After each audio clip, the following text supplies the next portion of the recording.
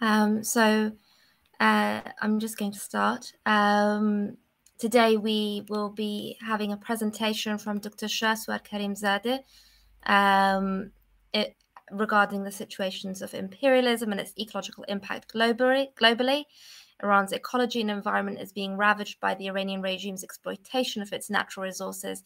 This president, his presentations will explore the changes in the region's ecosystem and microclimate and circumstance under which those changes have occurred.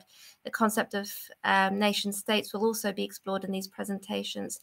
Um, it will explore the um, not only just the tangible borders and spaces that frame our perception of the earth and the roles that we as communities and as individuals partake in, this presentation will also aim to cut through the divides formed by nation states and understand how that which affects Balochistan, Luristan, Kurdistan, and Iran has and will impact its neighbors beyond um, here we might be able to truly analyze and interpret the damage of imperialism and capitalism and how democratic confederalism poses a solution, but also how allowing self determination and understanding the um, systems of other nation states that are oppressed by Iran wish to pursue their rights to self determination. So, Dr. Shahzavar, if you would please like to introduce yourself um, and also to begin your your uh, presentation. And also, thank you very much for uh, agreeing to do this presentation today. Yeah. Uh, thank you so much for uh, organizing this meeting. I think it's a very, very um, um, important meeting and essential, in particular, you know, in our region. And thank you all the friends that okay, I've, I haven't seen, and it's been for quite a few years that I've seen Estella and Kana. Uh, it's good to see you all. Um, well, the, um, my presentation is, I think, is slightly broader, and I'll start with um, a very brief background, very brief background of Baluchistan for those colleagues and friends that maybe they have haven't heard of Baluchistan, and then they then uh, focus on the issue of ecosystem and the impact of colonization in particular um, on ecosystem in Baluchistan is Baluchistan is um, one of the nation which is in within the plate of Iran, and the area approximately is comprised I would like um, uh, 560,000 square kilometer. is quite large area, and we've got coast coastal land of something like 1,300, 400 kilometers. What is nowadays, okay, is like some people to say it's a Persian Gulf, or some people say it's Oman Gulf, but it's basically Baluchistan. From northern part is all of the Baluchistan. So there is no Persian on that side anyway. Um, so that one is really, really important in that sense. Um, also, Baluchistan from 1666 was an independent nation. They had their own state and rules and regulations and contracts with the uh, major uh, nation, surrounding nations or neighboring nations, until the British went and occupied Baluchistan in 1839. And then uh, British divided Baluchistan in three parts. They drew two lands. One land is called um, Goldsmid land, which taken the um, western part of Baluchistan, which is nowadays to what is called Iran, and but before it used to be called Persia, and the eastern Baluchistan remained under the control of British until 1947, until the uh, British they gained their independence. And there is they drew another land, the British, um, and gave a part of the northern part of Baluchistan to Afghanistan. Um, was in um, 1890 1890s. And that has really had major impact on the ecosystem, as I'm going through in a minute, on ecosystem of, uh, of Baluchistan. Re remember, Baluchistan, like the Baluch uh, people, like, like Kurdish people, uh, they're very close to all the all the nations actually in that region, very close to the um, land, their environment. Uh, when there wasn't such a major changes um, because of colonization, because of industrialization, and so forth. So they were very close to the uh, land. But since then, because Baluchistan been okay divided and occupied, and nowadays okay by um, part is controlled by Iran, and part is controlled when the British created Pakistan. Um, it's and part in Afghanistan. So there is no really from the start, I have to say, there is no independent body really to look after the environment. And since Baluchistan is the area of the Baluchistan in such an area that um, environmentally is very, very vulnerable to changes in the climate and all that. Uh, you get a drought because some parts is very, very dry, some parts can be very cold and so forth. So um, because there is no independent body, because Baluch people are not in control, they haven't got access, or if they are they organized, let's say, um, environmental organization, they've been taken and basically they disappeared and killed. So it's very hard really to have exact impact of colonialism to see the colonialism in But what we can see, there, there have been few events, and these events, I think, highlight that's what happened in Baluchistan. I just go, you know, one by one, just I've, I've chosen, I select a few major events that had major impact on Baluchistan ecosystem and environment. And it's as a result of colonialism. Is that something that's okay, caused by the Baluch people? One is what is called the the Sui gas. Sugas is is a major gas field, um, which is in eastern Baluchistan, what we call it um, uh, eastern occupied Baluchistan by Pakistan. In 1950s, okay, it was uh, discovered, and they use this uh, Sui gas, um, the gas, which is was the main field.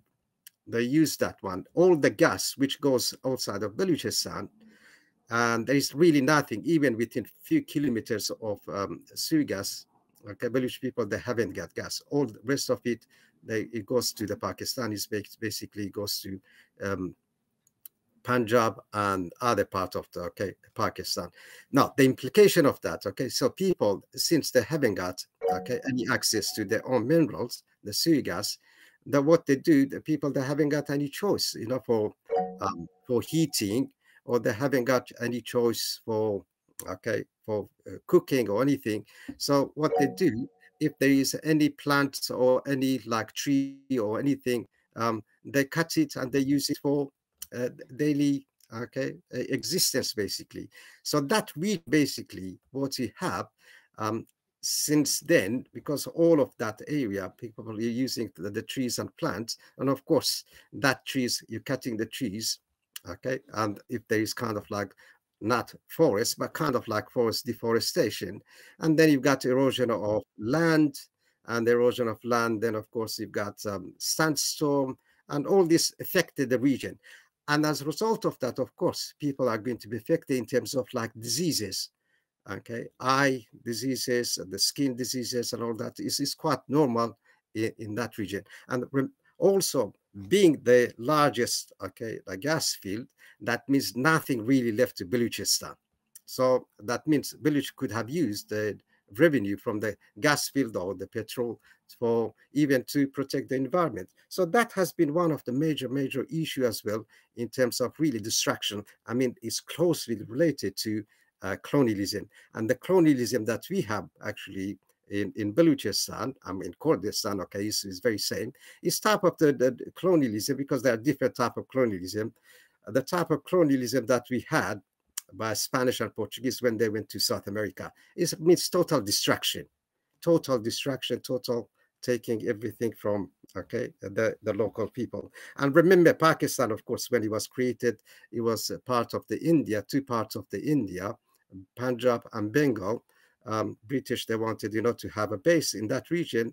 So they took part of eastern part of Bengal and western part of Punjab because they were Muslim, and this Muslim were part of the uh, military establishment of British Empire. So they created that, and that impact because there is no even for for them a base. I mean, there is no kind of identity for them um, apart from the idea of the Islam. So they can be much much harsher.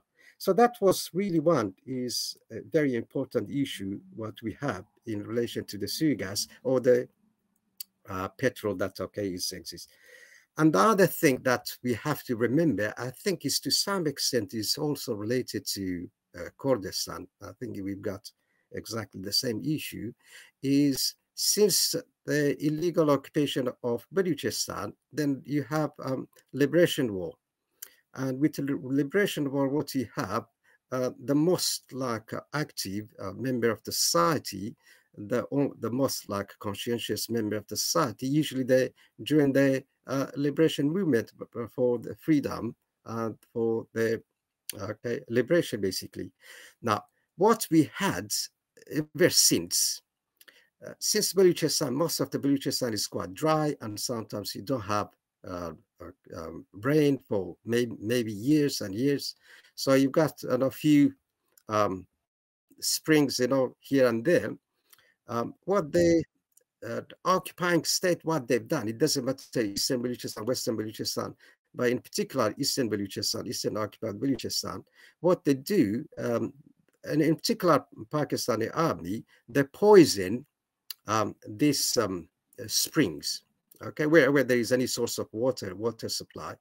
And of course, uh, the, the idea that, okay, the um, Baluch partisans are not going to be able to survive or sustains their, their movement.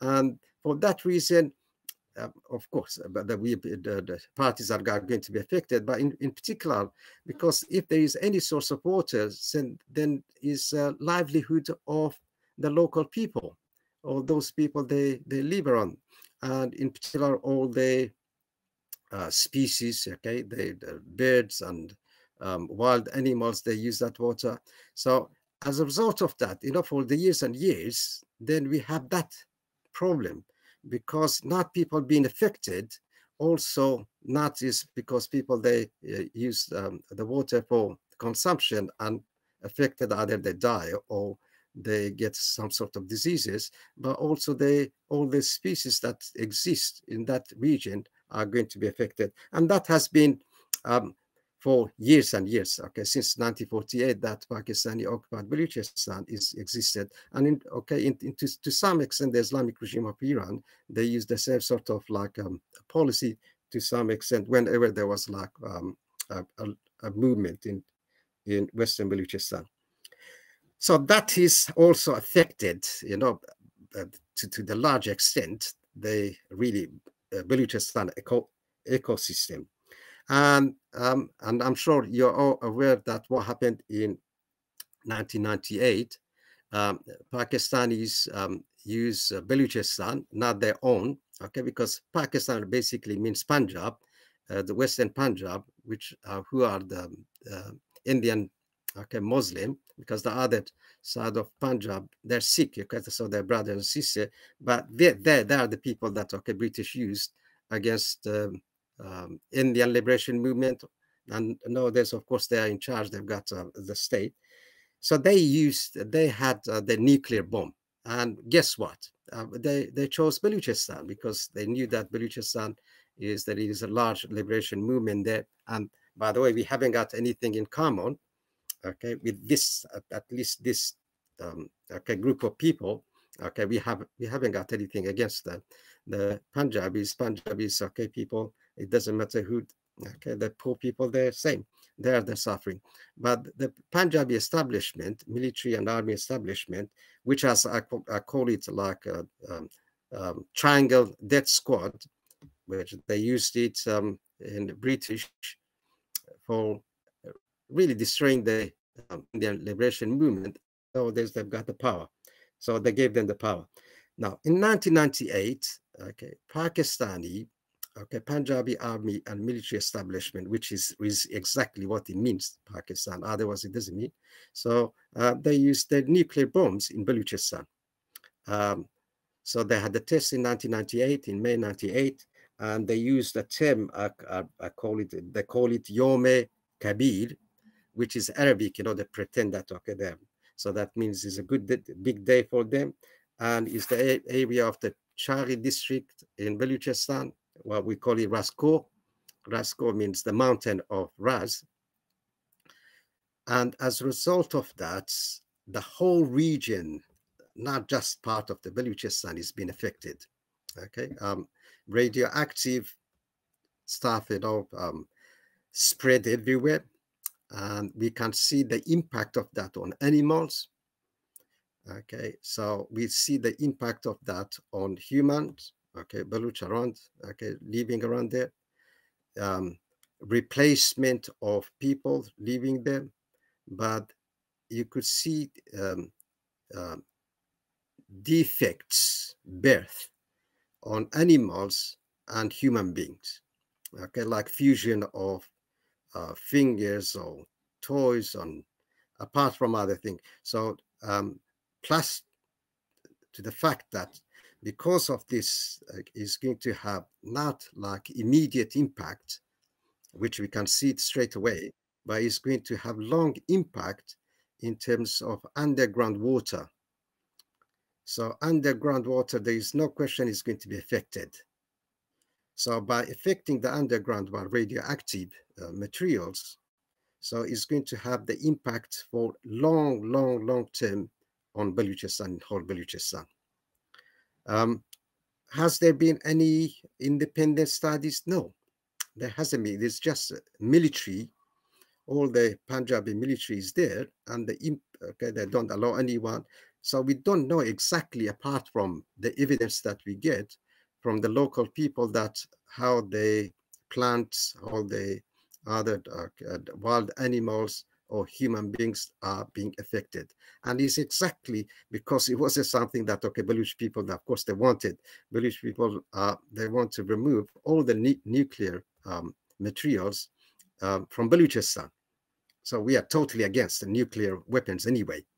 So not just in Baluchistan, anywhere else. So that has been another really issue that we had displacement of people but not just that, we had all sorts of diseases that okay is caused by nuclear radiation. So I, I think those people that um, more expert in that area, they can tell you more. But what we see is very, very obvious that is hasn't been any different that from other parts that when you have the nuclear ex explosion or the nuclear test. So it's the same sort of like problems that existed or exist in other parts is exist in, in Baluchistan. So quickly, because I don't want you know to take long of your time, but the few issues that I think are very much uh, related to um, uh, the concept of colonialism and ecosystem, I want to highlight. Other thing is um, um, is exploitation of um, minerals. Baluchistan is very rich in minerals, both uh, Baluchistan under occupation of Pakistan and Baluchistan under occupation of Iran, and northern northern South Baluchistan to okay lesser extent. Uh, um, the people, the state, the states are really responsible for ex exploitation, extraction of minerals. So since you get a lot of minerals in Baluchistan, you get some in different parts of Baluchistan, they come and one, the, the first impact, of course, is going to be the environment. So you don't know that whatever the chemical they use um, for extraction of um, minerals, and in particular nowadays, okay, they brought the Chinese, and that area controlled by the military. One, you displace the people, and in one part, like 15 kilometers from other side, they dis displace the people for just for the Chinese to come Okay, this is really like uh, the Pakistani. For the Chinese to come by helicopter, by airplane, and take whatever they want. And of course, extract extracting minerals, you need certain chemicals to extract. You need waters. You need so uh, how they are going to get rid of the all day, okay? Um, how they are going to dispose all the chemicals, okay, or contaminated like water they have, um, is a mystery basically well it's not mystery for us we do, we know that what they did okay of course there uh, there is no such a thing as health and safety or environmental issue for them so that means Baluchistan is that part, as I said, is large part of the Baluchistan. They've got a lot of minerals. They use it. The minerals, all sorts of minerals from gold, from uranium, all sorts of stuff they have. And there is no even one single report to suggest that, okay, what they do basically. We just see them they come and they take the resources and go. Um, another issue that recently, I can't say recent, maybe in last in uh, 20 years, okay, has been one of the major issue in Baluchistan, And as I said, Baluchistan has got coastline about something like 1,300, 400 uh, okay, kilometers, which start really basically from Karachi to Bandar Abbas. Both Iranian regime, the Islamic regime of Iran, and the Islamic regime of Pakistan, well, they sold the um, Baluchistan Sea. Okay what they call it persian gulf and oman gulf or whatever they call it. But it's basically it's, what we call it um, um, we call it daria oman. We call it daria makran sorry. So the makran is part of baluchistan makran is a large southern part of baluchistan um, so by basically selling the sea or renting the sea to chinese most of the um, fishery industry, which was controlled by the Baluch, really destroyed. Because what the Baluch they had, the small, small boat or something reasonable enough to go on fishing. But nowadays they cannot really fish because you've got these uh, trawlers from Chinese and they catch any species. And okay, you have to remember in China, almost they eat anything. Okay, so the species that they were protected by the Baluch because okay they don't eat them and also the, of course they didn't have access to the deep sea no this they that, these guys they come the chinese they, guys they come from karachi to bandar abbas or even further so they catch anything they clear anything deep sea species so that has been a major major environmental disaster in that region not just for the people. Of course, most people, they lost their livelihood. And remember, the large number of the village population is their main livelihood, source of livelihood. It comes from fishery. So these people, they are forced, and some of them to go to really deep Indian Ocean. And many of them, they were captured by um, um, Somali pirates, by the way. And since they haven't got any state or anyone, they kept for many, many years. Some of them maybe for 10 years, eight years, because nobody care about them. And it's because of it's first time that, that these people, they go that far in order to fish, you know, for their livelihood. So that is has been another like we got major demonstration in in Gwadar and the problems, okay, the issues that okay in also in Chabahar and places like that, okay, because we got a lot of uh, ports in Baluchistan, which mainly they're controlled by uh, uh, colonizers. So it's another thing that means ecosystem of in, even marine system is being destroyed by okay because of the colonialism, this deep sea fishing and so forth. And the other thing, okay, the, the Punjabi establishment of Pakistan almost, I mean, is very well known. Even the American, they said in 1970s they can sell the mother for money. Uh, what else they do? Um, we've got the migration of birds or other species from Siberia.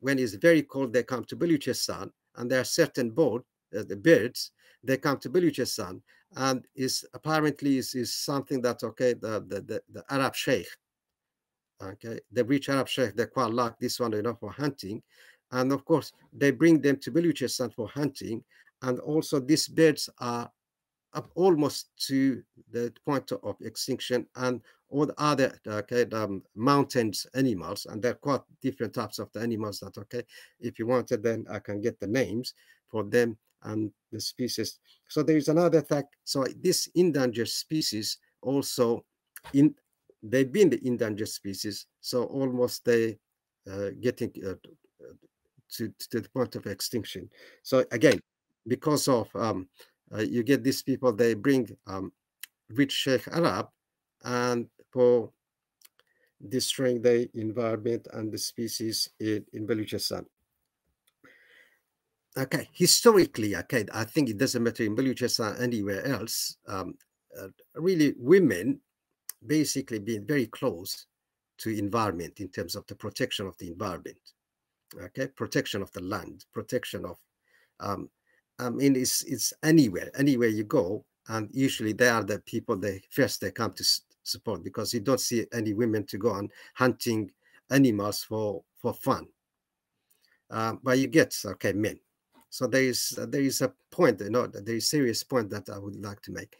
Um, and Baluch is, is not really, Baluch women are not the exception. So they've been close to uh, land in terms of farming, in terms of like, okay, looking after the animals, in looking after the, around the environment or the species. But since of the rise of, I mean, the type of the colonialism that we've got is really, really horrible, nasty. All the colonialism that nasty, but there is a, there is a relative nasty horribleness, you know, in, in terms of the uh, colonialism. We've got this horrible, horrible um, uh, colonial geopolitical structures of um, Pakistan, which is uh, created by the name of Islam. So you've got this Islamic um, um, state of Pakistan or Punjabi Islamic state of Pakistan, and it, uh, which are the Sunni fundamentalists. And then you've got the Iranian Shia fundamentalists. And for them, of course, we are here to be tested. You know, the more we suffer, the more we okay is better for us. So when it comes to the, the, the, the idea of colonialism, of course, all the suffering and most of the suffering come to us. So um, because of that, so they created this extreme um, death squad, Islamic death squad. They created this extreme uh, Islamic fundamentalism. So to force women in particular to stay at home so all the economic activities they had before is very limited to what they can do at home. And that has been really a major issue um, in, in Baluchistan because we can see all these death, death squads, okay, people that are scared to go out and to know that what is going on. And that has been really a force in protecting the environment or animals and so forth. But no, there's a, because of that, it, it's been another major impact or important impact as a result of colonialism. Okay, so that that is really um, issue as well. I think in most places, but in particular in places that you get uh, religious fundamentalism, and they, in particular, they target women.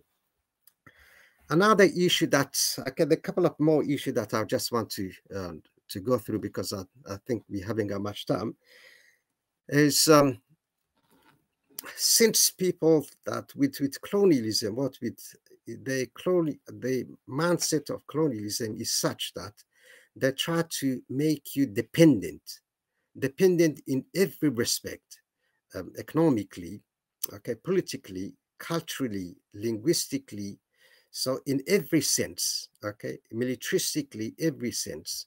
So because of this uh, um, the, the force of dependency that they create to you, in particular economically, in Baluchistan, people that haven't got most of their sources of the income, either it's been agriculture or it's been farming or it's been, I don't know, fishery or it's going to be, um, I don't know, trade, is taken from them. So in Baluchistan, people are really forced to do other activities. And one of the activities, like in Kurdistan, uh, what we know as a skulaba, and in Baluchistan is suhtbar, is fuel uh, carriers. And this few, okay, this individual, they have no choice apart from take uh, like petrol from one side of Baluchistan to other side of Baluchistan. But always, every day, every day, what you see is they've been attacked. So when you attack petrol, so you not just destroy the individuals, you destroy the environment. So any part of Baluchistan you go, you see the fire, you see the fume, you see, and the impact of that for years and years is considerable, which there hasn't been really like um, okay um, independent studies and so forth. And my last point, since there is no any independent organization, because as as soon as you try to speak out, you've been taken, okay, or you disappear, or you've been killed, and so forth, because there hasn't been any independent study, and is black hole in whole Baluchistan. So people really they don't know the, all the impact of all the um, uh, state policy, colonial policies on ecosystem. What we need, what we know that is the situation is um, extremely bad. see uh, the environment we say like is getting hotter and hotter because it's very hot area. So as it's getting hotter and hotter, so agriculture is going to be more difficult, and and is confiscation of the land, the fertile land, the good land, but uh, colonial, uh, the, the, colonial powers, or the area that okay has been quite um, um, uh, good for economic activities are controlled by, by colonial powers, and if we put all together, then we see that really there is kind of like disaster is going on in Baluchistan. And my last point, okay, and historically Baluchistan um, was the main source of agriculture which supply wheat for the whole region and also in terms of like um, um, potential, I don't think there is any other region in okay, there any other area in that region which has got that much potential for um, development and um, protection protection of eco ecosystem. You see, we've got sea, which is like 1,400 kilometer, and also we've got what is called 120 days um, wind is is really like very um, fast wind that what you get it in northern part of Balochistan. So, and that could be utilized. And of course, we've got the sun. We've got 20, we've got like, I don't know, 15 hours of the sun. So you can utilize that one. And also the um, seasonal rain that you get it, they can be used for utilizing, okay, not just okay underground, which they use. Underground is another issue that I did haven't paid okay, I haven't said much. Um, I didn't say anything about that. But one, my, my point is Baluchistan, in terms of protection of Baluchistan environment, is got all the uh, potential to be protected. So we thought like damaging like ecosystem in Baluchistan, you can have all the solar energy, sea energy, wind energy for um, all the economic activities.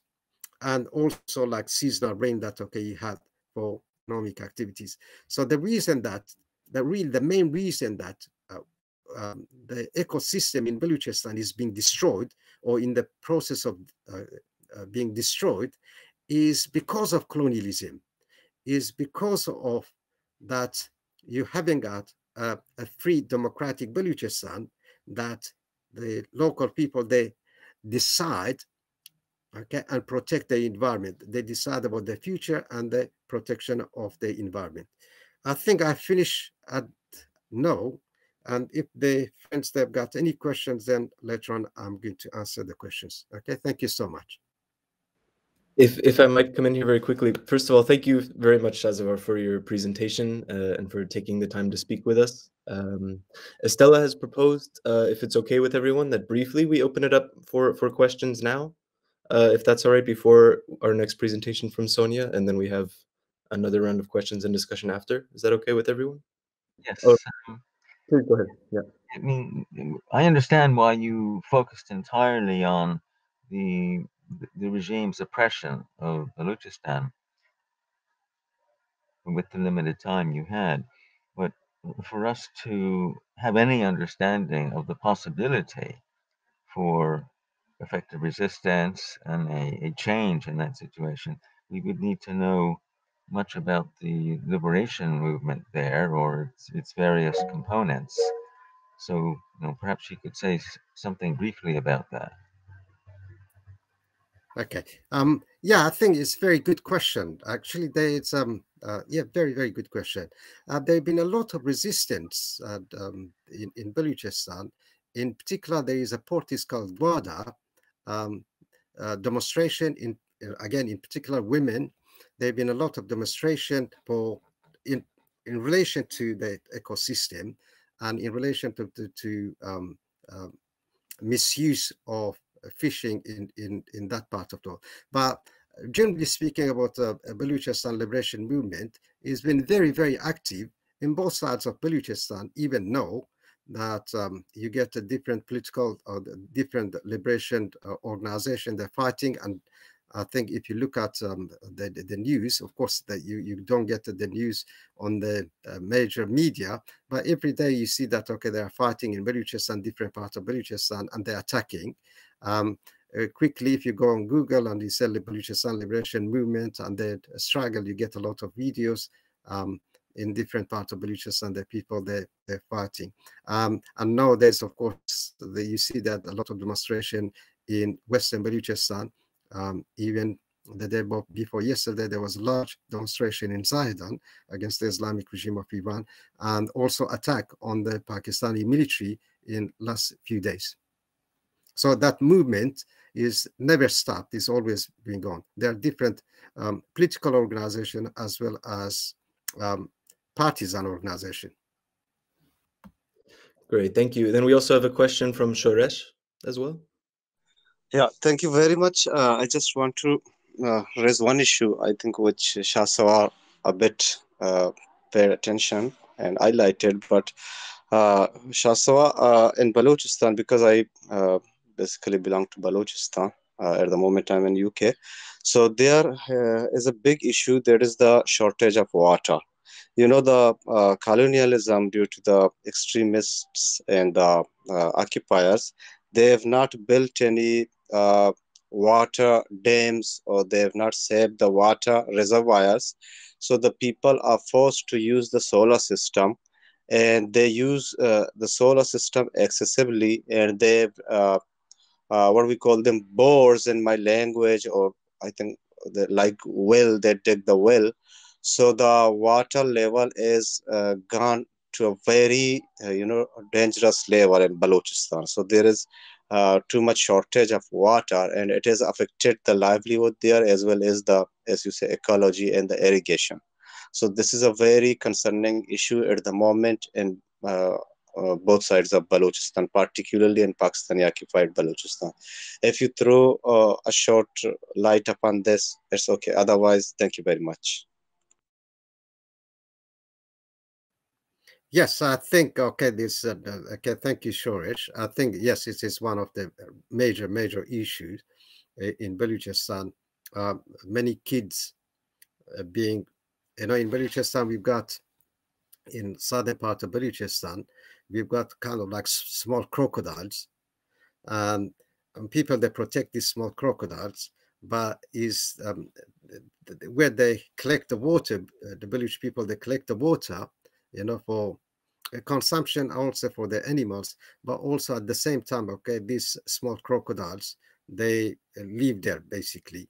So the kids, when they go and fetch water, because there is no any other source of water, that haven't been any infrastructure for that one, and they've been attacked. And we had a number of um, uh, uh, this, uh, kids being attacked and killed also, you know, by these small crocodiles crocodiles. Yeah, there is a very, very important issue. I think that the water issue is not just like for Baluchistan, is for the whole region, and is because of the, the policies that, okay, these states they had um, in relation to water or uh, very wrong policy they had.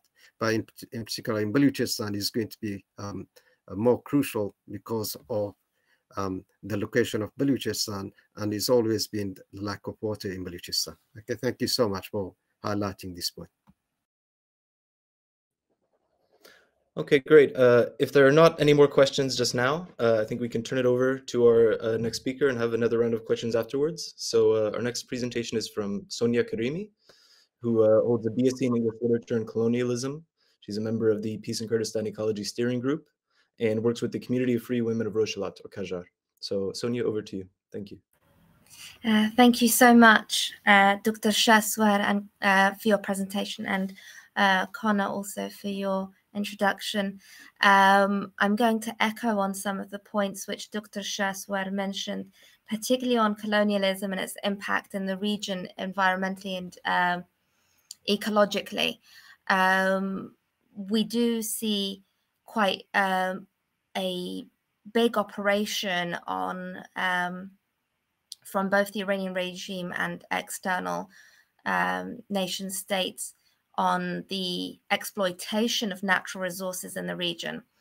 Um, one of the most uh, striking pieces of information which I recently came across was um, the uh, the position of um, Iran in terms of um, where they rank in the world's most polluted um, nation state. Um, and which parts of Iran significant were highlighted as the most polluted. So it came as Ahwaz, um, which produces Iran's oil and is one of the most polluted cities in the world, followed by Sanandaj and Kermanshah. And then there were a few cities in Balochistan, uh, particularly on the Pakistani border, um, that came up on that list. And they were ranked number one, number four, and number five. And then the Pakistani areas of Balochistan ranked as number five and six.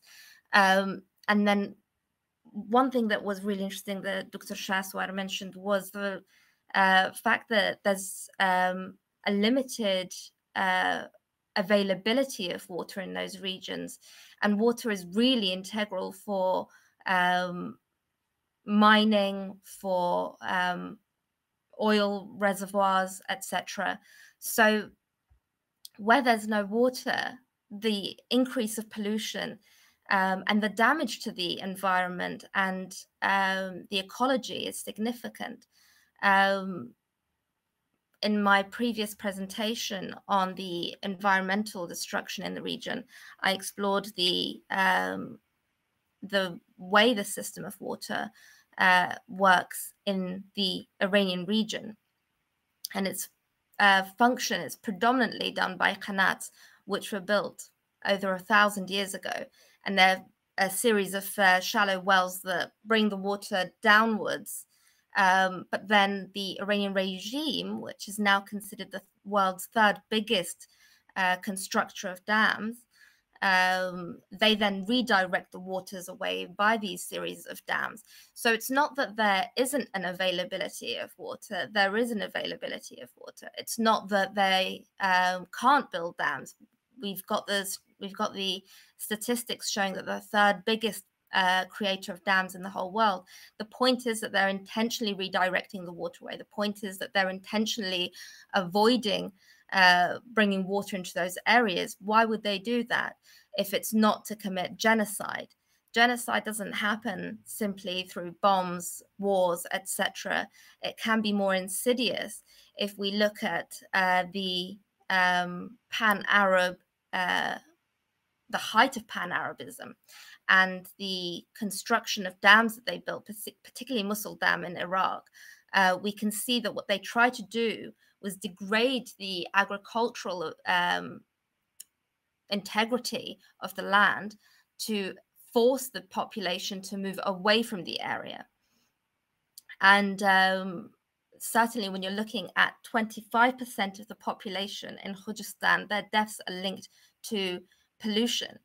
Uh, when you look at the situation in Balochistan, where there's an enormous water shortage, the uh, lands which were once rich um, and capable of producing yearly yields of um, of harvest are now 60% reduced. Um, and indeed, if you look at water bodies across Kurdistan region, there's a 70% shrinkage in Urmia, uh, of water bodies. Uh, wetlands and marshes are all being dried up. Areas that were once considered um, protected because of the ecological significance of the region are now being bombed and fires are being created by the Iranian regime, etc. But what's striking is our role in the situation. Um, as nations that are being oppressed by Iran, as people are being oppressed by Iran, uh, it is our duty to form alliances within ourselves uh, so that we're not vulnerable to external exploitation. Um, if we consider surrounding nation states around us, for example, if we have Iran on one side and we have Turkey on the other, there is actually no difference between Iran's policies and Turkey's policies. Uh, when Turkey recently tried to invade a region of uh, southern Kurdistan, which is occupied by Iraq, uh, they deforested an entire forest. They took the woods and they took it all to Turkey and sold it. Why do we believe that if we make alliances with Turkey, they would be different towards us than Iran? They wouldn't be. They would be committing the exact same policies against us. The only way we can secure the region, the only way we can secure our resources, secure the safety of our people, and secure the environment and create a sustainable future is if we work together um, and form alliances within each other. That is Baluchistan, Kurdistan, Al Ahwaz, uh, the Azeri population who are considered Turks. Um, you know, uh, forging alliances within ourselves is the only way we can secure that safety, particularly when we look at how um, other nation states are withholding resources and I mean, even working against nature to withhold those resources. So if we look at, for example, the Tigris River, 40% of the Tigris River is contributed by um, Iran, um, sorry, by Turkey, 51% is by um, Iran, and then 9% is by Iraq. Uh, so if we look at it like that, uh, there are certain moments over the last decade where Turkey has restricted the water being accessed, and the water needs to pass through Kurdistan, and it's restricted the access um, of that water coming through to uh, Kurdistan. And then the water that comes through Kurdistan is then obviously going to pass through to uh, Khuzestan, to um, Baluchistan, to other parts of the globe. We don't exist simply within ourselves what happens in one area affects everyone globally. This is a spherical Earth. Um, and this is why it's so critical. No nation state should have the power to cut off such a vast volume of water. Um, and they do have the capacity to redirect that water in enormous quantities daily to Basra. So if there's a water shortage in Khuzestan and Balochistan and Kurdistan, we can be assured, we can see plainly and evidently that that is an intentional act of genocide against the population. It is there to erode the soil. It is there to create pollution. It is there to make that land non-viable. Um, and the only way we can come to some sort of manageability of the situation is if we step away from imperial powers. And certainly, Turkey's government has shown itself as another imperialistic state um, simply uh, through the way that it's conducted itself in Afrin and in Syria. We can see that they have expansive ideologies. They wish to, they have ambitions to colonize far beyond the Turkish border. So, again, structurally what's critical right now is forging these alliances within ourselves um, so that we can figure out how best to manage the situation. A lot of damage has already occurred in the region, and we need to consider um, working together to to try to fix it, try to work on it. Um, sustainability is so much better achieved within the region than it is externally. And we're not alone in the world. We're not alone um, as people who have been exploited, who's uh, suffering serious soil erosion, um, water shortage, etc. We need to work with um, other uh, ethnicities globally to further this, to highlight it, to ensure that we're doing the most that we can to create a sustainable and functional future. Um, and that's all for my presentation because a, a majority of what I, what's occurring in the region I discussed in a previous seminar. So this truly was a chance for me to uh, express the urgency of creating alliances in the region. Uh, thank you very much. If there are any questions. Great. Thank you so much, Sonia, uh, for your presentation. Um, And uh, so now, yes, as Sonia said, we'll open it up for questions again and uh, discussion. I'd like to begin with a question, uh, if that's all right, for, for both speakers, actually. I was wondering if they could comment on the uh, ongoing protest movement we've seen in Iran developing over the past months uh, from the perspective of Kurdistan and Baluchistan, respectively, and uh, first, how this uh, impacts the development of a democratic alliance of peoples in Iran that you, Sonia, in particular, discussed in your presentation, and also then how this relates to the ecological context. Thank you. Dr. Shahzavar, would you like to answer first?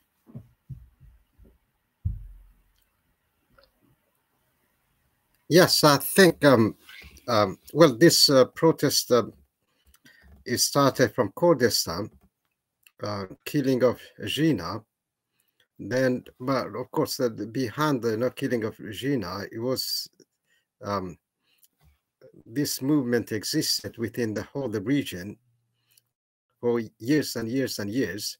But when it started, um, it went through all, uh, actually all, you know, parts of Iran. And two areas that are, um, this movement was much, much stronger was in Kurdistan in Baluchistan. And in Baluchistan, is still every Friday, you have um, uh, people that come out and um, to express their really anger against the Islamic regime of Iran, and in particular in Zahedan. Um, yeah, I, I think um, because the is the not it's not really the question of I think Sonia, you know, the, the, the, the indicated it's not really the question of one part of one nation. Um, the issue is the whole region, the whole region. You know, it starts from uh, Turkey or from Syria, for the whole Middle East. If you take the whole Middle East, it goes to Afghanistan, Iran, or even Central Asia, and so forth. Um, we haven't managed to have the experience of the age of enlightenment that existed or happened in, in Europe, um, at even for the really most basic human rights, the basic rights of to express yourself, the basic rights to have opinion, the basic rights, the rights okay to have to determine the, your own future, the basic rights for women, the basic rights for the environment, the basic rights for anything, almost anything. So it's the whole region, and um, uh, one thing that uh, I, I, would like to um, really pinpoint is the role of um, uh, secularism that, okay, in particular that exists in Kurdistan, Kurdish nation, and that can be quite um, um, quite critical in the region, and to some extent in Baluchistan as well. But Kurdistan, of course, is ahead, uh, but Baluchistan and I think Kurdistan, the Baluch and uh, Kurdish nation, and some other nation, of, of course, are, um, is not just Baluch and Kurdish, but in particular Baluch and Kurdish nation, they can have um, very, very critical role in terms of taking this secular, humane, democratic uh, movement uh, forward. And I think um, at the moment we can see that. Um, and it's not surprising that, okay, we've been attacked by all the forces in the whole region, not just region, even their allies in, in West. So um, the movement that at the moment exists is not going to end uh, soon. Um, but unfortunately, okay, the political parties, the organization that they're supposed to be there to lead this movement, either they're being taken to they're in prison or they're being killed and so forth. But this movement exists. The one responsibility that we have, I think all of us as um, um, human beings, okay, the free human beings anywhere, uh, a Democrat or whatever, is all responsibility wherever we are actually to take this movement, to support this movement, but because we know that this movement is not going to be supported by the Western allies or it's not going to be supported by the uh, powers in the region because it's not going to be their interest, is not going to be supported by Chinese or it's not going to be supported by Russian or whatever, okay? So it's really all responsibility, all everywhere if you find any okay a democratic movement any democrat it's our responsibility to to support this movement, and in particular, as I said, the movement which goes on in Kurdistan and the movement which goes on in Baluchistan, in other side of, in all side of Baluchistan all side of Kurdistan. I think that's all I can say. So I leave it to Sonia. Um, in terms of um, uh, the protests that are occurring uh, across the region, um, I have to say that uh, it's uh, if if one positive outcome has come from it is the recognition of the importance of forging uh, a unity between all the um, different nationalities that are oppressed by Iran, um, and uh, working together in that sense. Um, certainly, furthering women's rights in the region is a priority.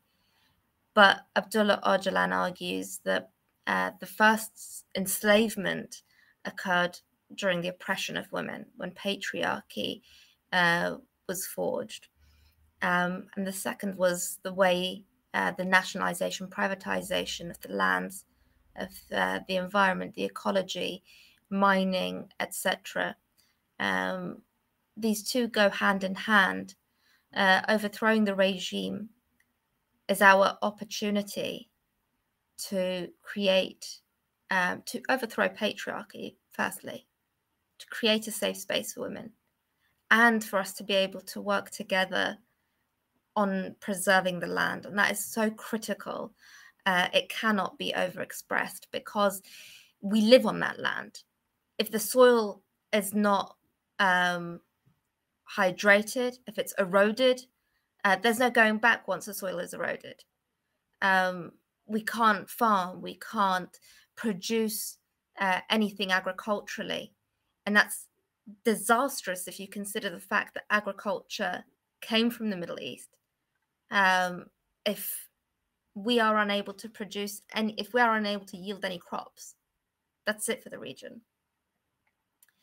Um, also, just looking at pollution um, truly the the only people that can salvage the situation are the people that exist on that land because they're the only people that for it truly to matter.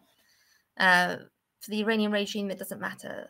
They can go anywhere else in the globe. They can stay where they are. They've taken all the resources. But for us, once those lands are dried up, once it fails to yield crops, once it's so polluted you can't even breathe there, as you see in Khuzestan, uh, particularly in Khuzestan, where they had the uprising of the Fursti in 2021. So, truly, uh, it's it cannot be overexpressed the need to overthrow the regime and the need for us to work together in the region, not to seek allies externally, but to work together. That's critical because uh, anybody else that comes in externally will only exploit the land.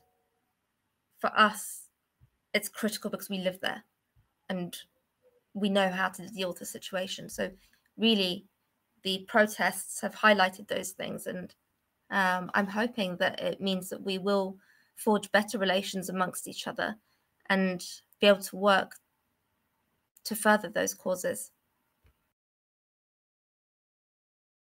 Absolutely. Thank you very much, both of you, uh, for your responses. Um, were there any further uh, questions? Uh, I believe Estella, did you have something you wanted to say?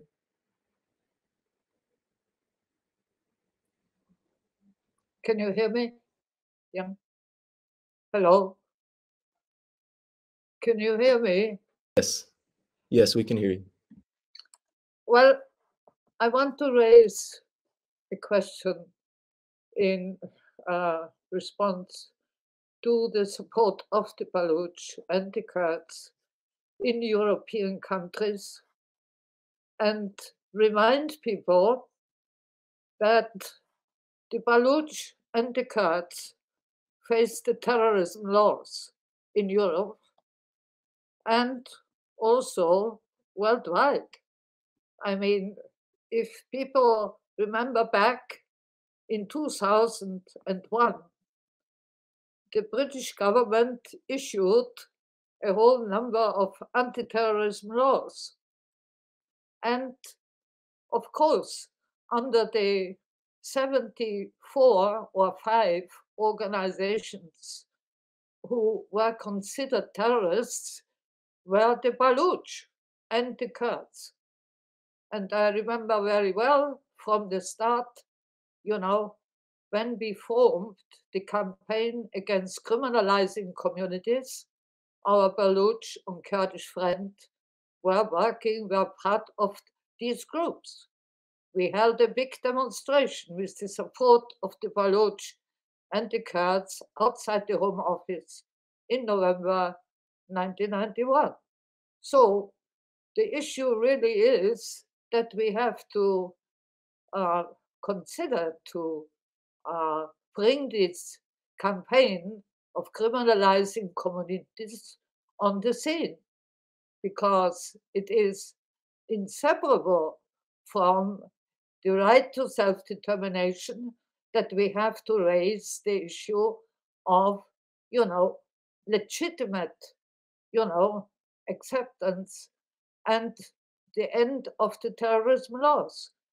So the uh, uh, so I would strongly suggest that this is being discussed, uh, maybe in a separate meeting by our Baluch and Kurdish friends, you know, how we can, with the support of other communities who are part of CAMPACC, come into that campaign again um, and make it more active. So uh, we have uh, the chance, we are supported now by Garden Court Chambers in a new attempt to rebuild a campaign against criminalizing communities.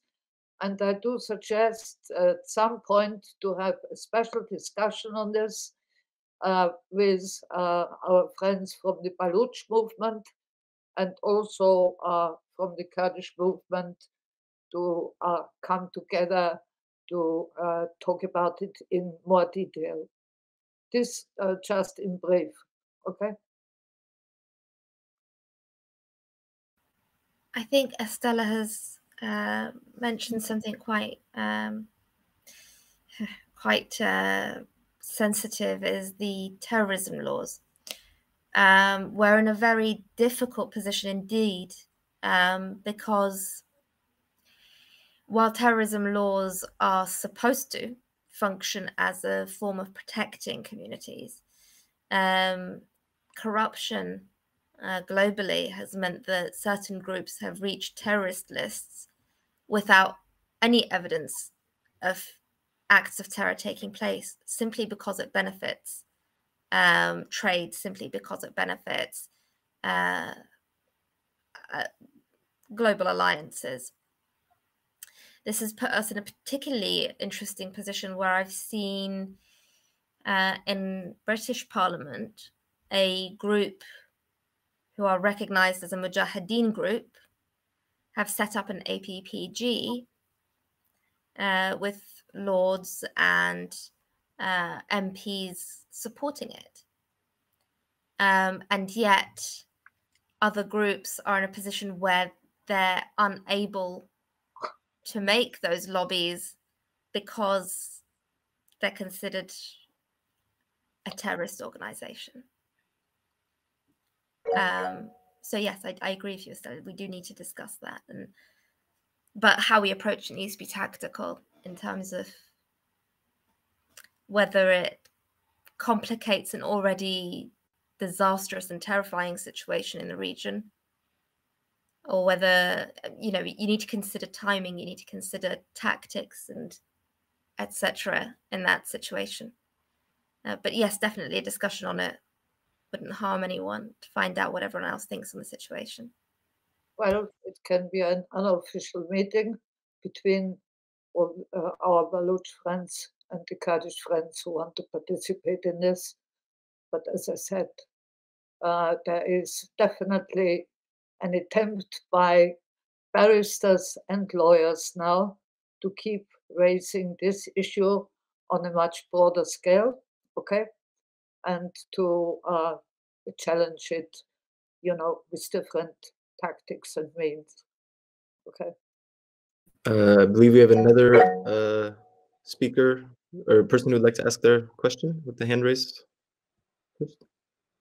Oh, um, yeah, with regards to um, the environmental movement and ecological damage through colonialism and a need to work together as different regions, I just wanted to make a comment on the state of the environmental movement uh, in Europe and in perhaps the quote unquote West.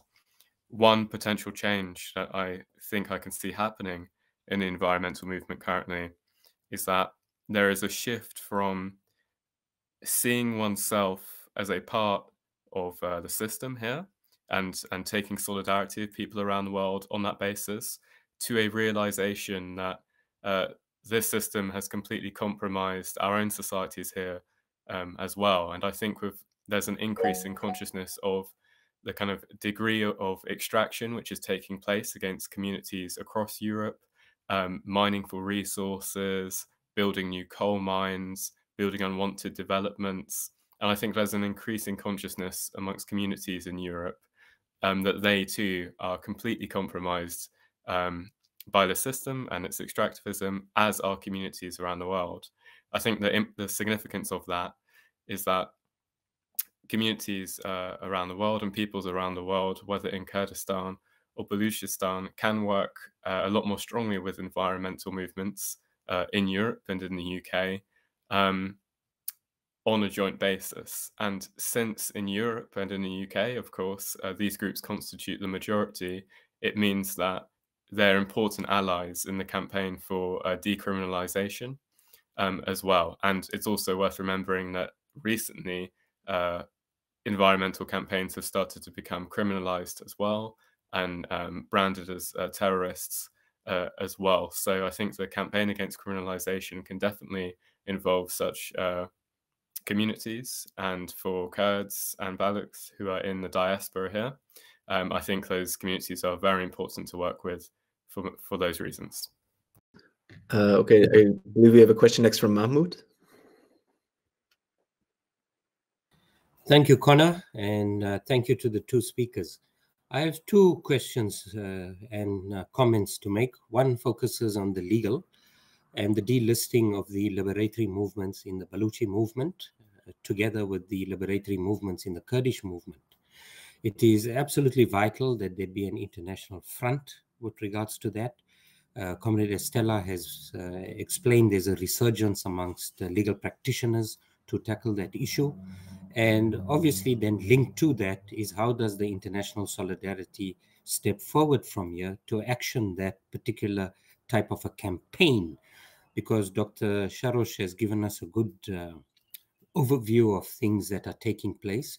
So the second part of my comment focuses on the international uh, uh, solidarity that you have, because uh, we down here in the south, in, in on the African continent, your struggle is very much on the fringe, and uh, it would be good for it to be part of all the other struggles that we support in terms of our international solidarity. Thank you. Okay. Uh, uh, and then we have another question or comment from Les.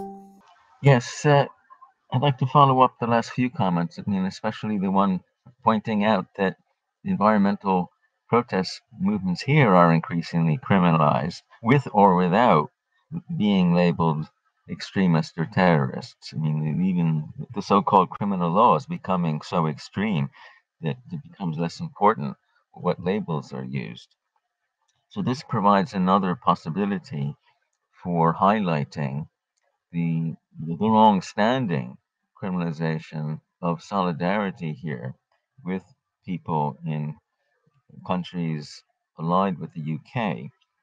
And we could point out that the decision two decades ago to classify many of those liberation movements had many motives, and some were specific to each place, such as Palestine, Kurdistan, and so on. But a, a general pattern is that, that the alliance with those oppressive regimes, we could even say terrorist regimes, was especially important for protecting the plunder of resources from any resistance, resources which are plundered by either Western multinationals or procured through trade uh, by those same companies you know, for what they called economic growth and prosperity in the West. And increasingly, the climate justice movement you know, has been criticizing that whole model of, of economy, you know, as inherently unjust along race, class, and gender lines. And in the in some cases, I mean, that convergence has already happened. I mean, such as um, perhaps in, in India, which is where mining companies have been facing protests in London for a long time. So, in the case of Baluchistan, just as another example, I mean, I know nothing about the the plunder of resources there and the role of multinational companies, but that would certainly be of interest to the environmental justice and climate justice movements here. And that could be another way of making the link that has been mentioned before. Thank you. I don't know if that's anything uh, either the speakers or Shahzavar would like to comment on. Yes, uh, a couple of points I just want to mention. Um, one, uh, Les, I think there was um, a very good point uh, that he raised. Yeah, the multinational, the, the multinational companies, um, with in cooperation with, of course, now with the Pakistani government, uh, the main okay um, re reason for their plundering resources, the Canadian and Australian multinational company in particular, and Chinese. And the second point I would like to raise, um, I think when we've got like a meeting like this one, um, the friends from Al Ahwaz, they could have contributed quite a lot because of uh, the role of um, uh, environment and what happened to the environment in Al Ahwaz was um, very crucial. Um, was uh, the, the issue that um, they had a lot of problem in terms of the water shortage, in terms of other issues that they had. So I, I think in future, if there is a, such a thing, such a meeting, it, I think it could be quite useful if we invite, you know, um, our, our, friends and colleagues from Al Ahwaz and also from, I think from, uh, you know, Pakistani side, uh, Sindhis, they had a lot of problems, and uh, the Pashtuns as well. So that could be, uh, we get a better picture of what's going on in, in that region. Okay, thanks. Thank you. Uh, Les, was there something else that you wanted to, to follow up with first? I see your hand is raised. Oh, well, well, that's what they call a legacy hand. so I forgot to lower it. But, uh, but perhaps uh, sooner or later, we should think how to translate these ideas into specific actions, or I mean, that is proposals for action within the climate justice movement, you know, including, for example, Extinction Rebellion, which has a section called MAPA, the um, for, for, the uh, people and places most affected. So that I mean, they target the, the culprits in Britain and other imperialist countries who are you know, responsible for the plunder of the people most affected. Mm-hmm. Absolutely, I think that's an important point, and uh, I think part of the one of the hopes of of, uh, of the network of the of the uh, ecology network that we have here is that we can uh, play some part in trying to build dialogues between peoples in different areas around the world, including places most affected and places like here in the UK or in the West, uh, to uh, so that we can hear from them there what kind of things we can go about doing here, what kind of things would be most helpful, or how to inform possible strategies and actions. And there, uh, Shahzavar's last point about uh, possible uh, inclusion of people from different places or representatives of different communities in the region to offer their perspective on uh, ecological situation in their own uh, regions and uh, continuing or developing this uh, dialogue with different peoples would be great. So maybe we could do another follow-up uh, event at some point on that. That reminds me also to say uh, we encourage anyone here also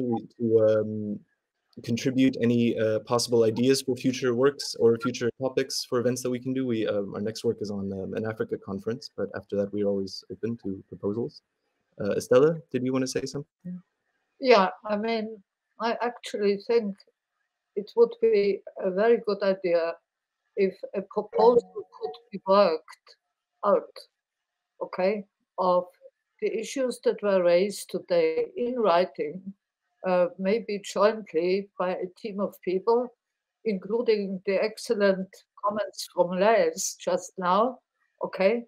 Um, uh, not to forget, as I said, you know, to be very aware that never did we have so many terrorism laws, and this includes, you know, the, uh, you know, the uh, ecological movements and the environmental movements, you know, who are being affected by it, and everybody who even uh, raises his hand, you know, for some tree somewhere in Bristol. Okay, I mean, it's pretty serious here.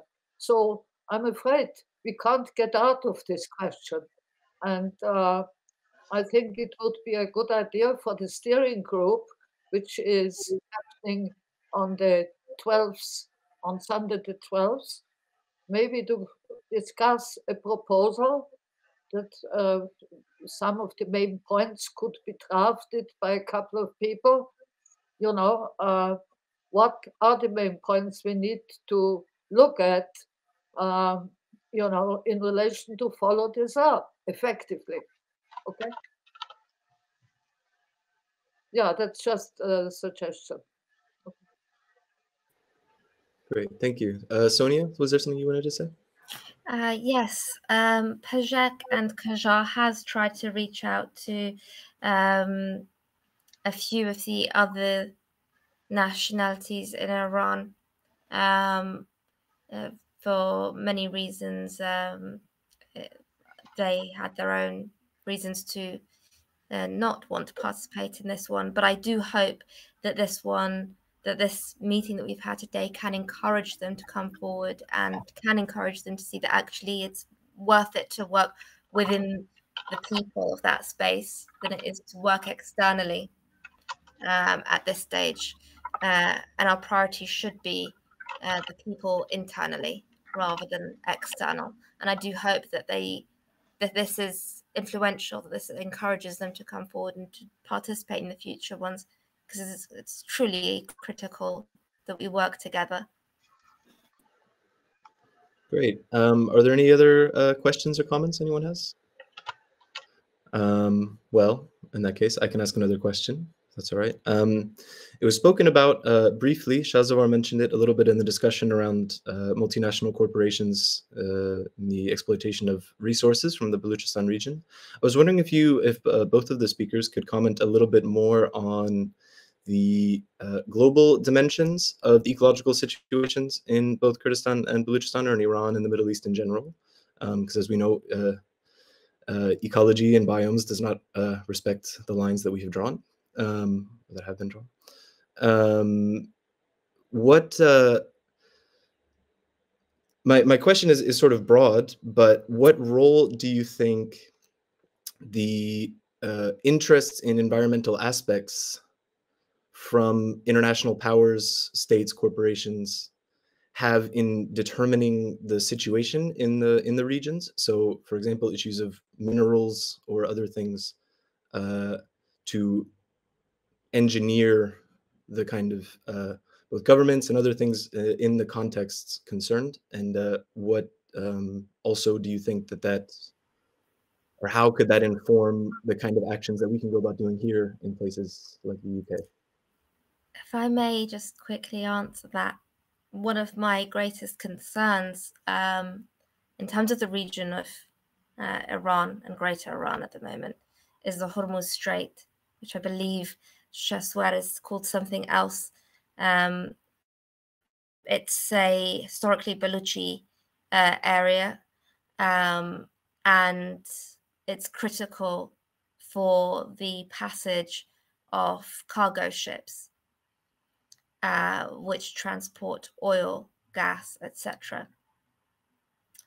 Um, the one of the main reasons I often find that people are unwilling to support region the the sorry regime change in Iran um, is the fear that regional instability will have on the fluidity of the uh, trade happening through the Hormuz Strait.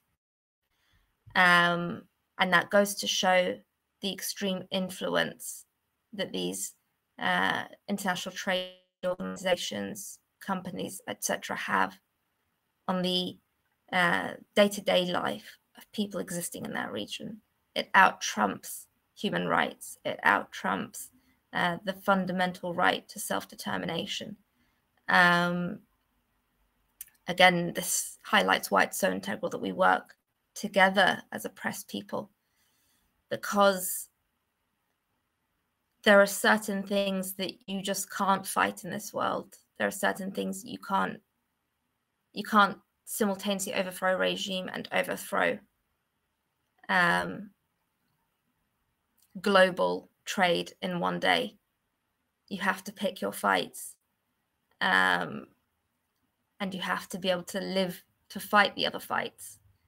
Um, in this sense, it's critical that we stabilize that area, that we stabilize the region, particularly by working together and showing that we are a um, stable force, that we are a stable governing structure in the region.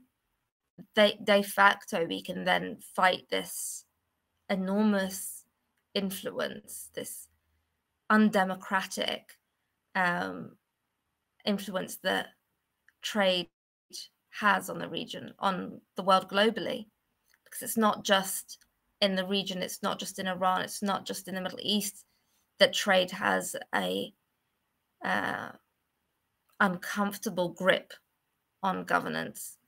Um, even if we look at the Amazon rainforest, the fact that they're willing to deforest so much of it to protect trade at the expense of life, how much of humanity, how much of ecology and the environment is going to be sacrificed at the altar of colonialism, imperialism, nation states, etc. Um, I, I think that covers what I think is important to say, but I think Dr. Shahzavar might be able to explore that a bit better too.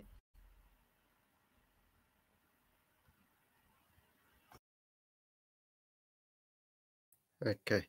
Okay. Thanks, Sonia. Um, look, multinational companies, of course, some of the multinational companies, they're slightly more ethical but you can't be a multinational com- company and be an ethical, you know, company because you're not um, a charity um, from the start.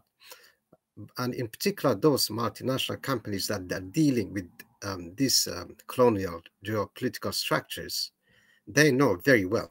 Um, back because the officials are very corrupt. Um, uh, colonial powers, like you know if you take pakistanis or iranian islamic regime or pakistani islamic regime um, the establishment is highly corrupt. The, they're basically a bunch of criminals. It's not something that they don't know. They know exactly or it's the same case with i don't know in kurdistan what they do in kurdistan so that is not really the issue the issue is these people don't know exactly that the minerals that they plunder, they exploit, is the cheapest they can get. I can get. I give, give you just one example. There is a um, is a huge area in Baluchistan, which which is start from uh, the, the western Baluchistan, which start actually from Kerman to the whole Baluchistan, and it goes to from western to eastern Baluchistan. Is a huge mine. I think is one of the largest. And this, what we got, we got is Saindak Saindak um, mines. So what the Pakistanis they've done, or the uh, uh, Punjabi establishment they've done, they basically let it to um, Chinese company, multinational companies. And what the Baluch they get? Absolutely nothing. So something like maybe 20, 25%, which goes, you know, the after the extraction of the minerals, okay, the revenue goes to the Pakistani establishment if there is one or two percent, they apparently they, they give it to the um, Baluchistan government. They use it for um, uh, suppression of the Baluch movement there. You know, because you've got all the the, the largest uh, military or Punjabi army situated in, in, in, Baluchistan, or is the same in the case of the Western Baluchistan. So anywhere there is, if there is a mineral, and well, no, there's the multinational companies that are not really that's the uh, uh, that don't feel that scared to go to Western Baluchistan, but the Indians, they use the Indians and Indian multinational companies. And of course, what you're going to, to get is because where there is no transparency, there is no accountability, where there is, okay, the local people that have no saying is different nation. I mean, you just imagine the um, Latin or South America under the control of Spanish, under the control of Portuguese. So they, they don't regard you as human being, is the resources they are really interested. And these multinational companies, they know very well. Now, the point is, as long as there is a pressure from inside and outside, and inside is going to be much, much harder because you just lose your head, you disappear. For the most basic thing, if you just go for the demonstration, you know, demonstrate that okay, this um, that natural resources uh, belong to the Baluch or to the Kurd or to the other uh, occupied nations, then you're going to lose your head. But um, internationally, it can be done because these multinational companies, they're scared from the international voices. And these international voices, it could be human rights organization, they could be um, general public in, in, in particular, and they could be from um, environmentalist groups and so forth. They're really, yeah, they're really petrified if there is such movement. And so long as internationally people that don't know where is Baluchistan, where is Kurdistan, what's their issues and how is their resources are exploited, um, then it's going to be a bit harder, you know, for the Baluch or for the Kurds or for the other um, nation and their occupation to really protect their resources and of course the environment uh, following that. So my my, my point is um, uh, what i'm saying is we shouldn't expect from the multinational company unless they are very very ethical they come up with um, um, a plan which is transparent, accountable in terms of paying their tax, in terms of the where they're going to invest their money, where they get their money, and that this is a, a very long and difficult demand for the multinational company. It cannot be really multinational company unless you've got some secrecy, unless you've got okay, you can get your resources as cheap as, as possible. But human rights for them is not really a major issue or even, as I said, even if they're really ethical, it's going to be a secondary issue. So you, you can easily bribe any pocket, you know, Punjabi establishment army to do whatever you want. So as long as it, it, doesn't belong to them, they can do anything they want. Or the Islamic regime of Iran, if we want to survive, they can do anything you know they want. They easily they can rent or give um, what the, let's say Persian Gulf to or the sea there to the Chinese to do whatever they want as long that, as they can survive. So the multinational companies really maybe they in West there is slightly more rules and regulations. Okay, they ask them for certain I don't know um, information data to provide you know to the to the local government.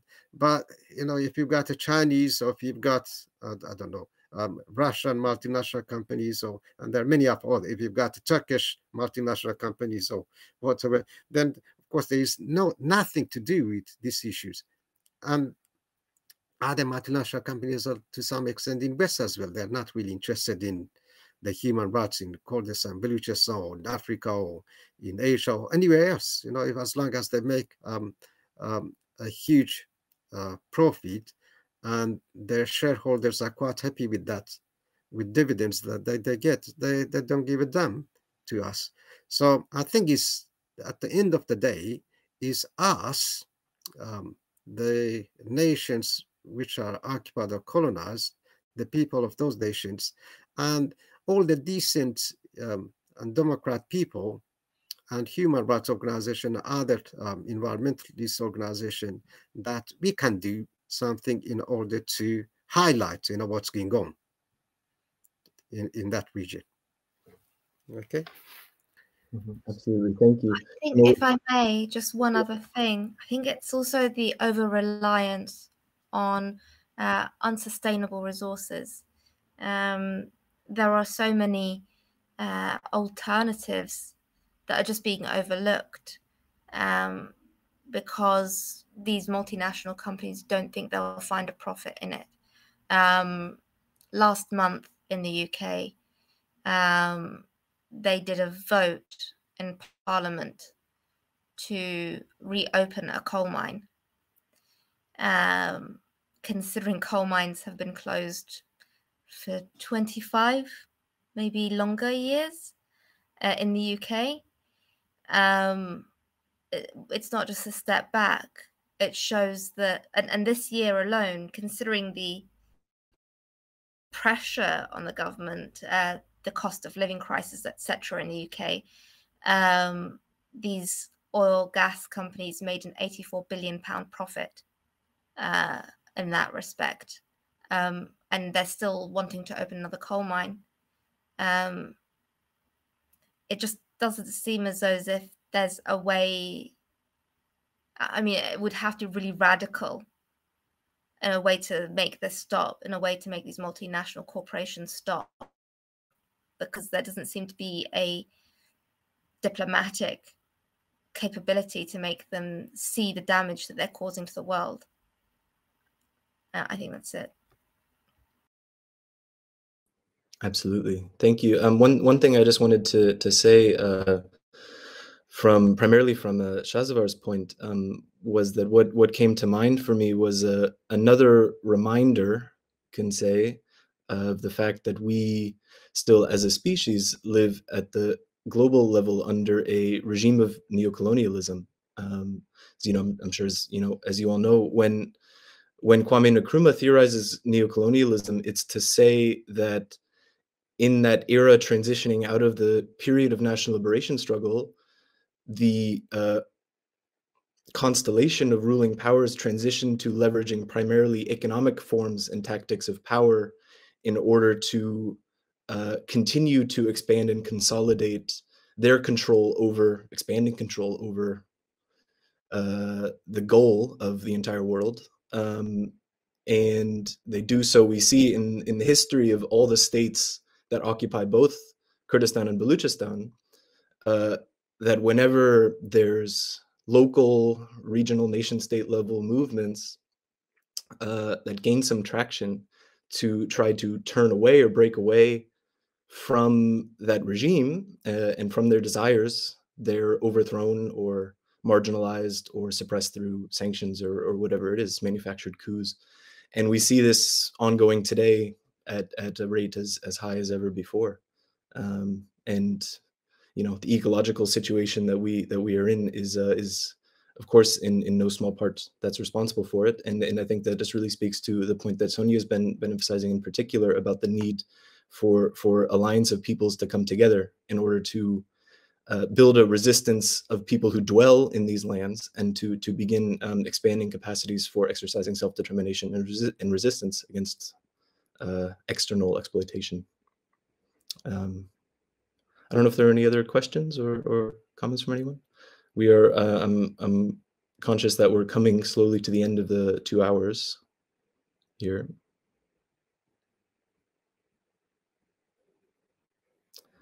Um, so I suppose if, if no one else has any comments or questions or, or uh, if the speakers would like to make any final comments, we can begin wrapping it up.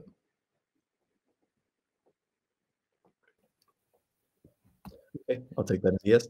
So, uh, oh yeah, Shahzavar, please. Well, well, just I mean the, the last one that okay. Thank you so much for, for this, um, uh, the way you organized it, and uh, uh, for the uh, the comments made by Sonia and all the other colleagues and friends. But uh, uh my last point is uh, um, because of this ecosystem is a, a major, major issue, um, and is going to be even much more important, really. Um, it could be part of like we can integrate the struggle for protection of environment to um, resistance movement, to liberation movement. I think is maybe this is um, one area that we can maybe spend more time uh, in terms of the organizing of people, uh, in in particular move, uh, the women movement because they can, as we as we saw it in in recent movement in in, in Iran, um, as leading really the, the, the movement